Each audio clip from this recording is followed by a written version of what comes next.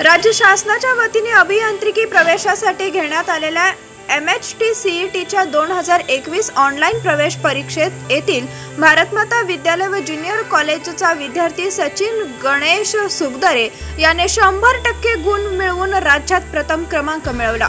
मायनी येथील जेमतेम आर्थिक परिस्थिती असलेल्या कुटुंबातील सचिन याचे वडील पेंटरचे काम करतात आई घरकाम करते. शाळा शिकून मोठा हो एवढीच आई व वडिलांची इच्छा होती. सचिननेही आई वडिलांची इच्छा पूर्ण करण्यासाठी कोणत्याही गोष्टीचा हट्ट धरला नाही. केवळ असेल त्या पुस्तकातील व नोट्सचा अभ्यास करून शिक्षकांनी केलेले मार्गदर्शन जिद्द आणि चिकाटीच्या जोरावर सचिनने हे यश संपादन केले. सचिन म्हणाला कोरोना परिस्थिती असतानाही शिक्षकांनी ऑनलाईन अभ्यास पूर्ण करून घेतला होता.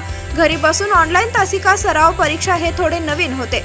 परंतु समोर ठेवलेले ध्येय आणि जिद्द यश देते. हे उद्दिष्ट समोर ठेवून हे यश संपादन केले. आता पहिले ध्येय सर्वोच्च संस्थेत प्रवेश मिळवणे हे आहे.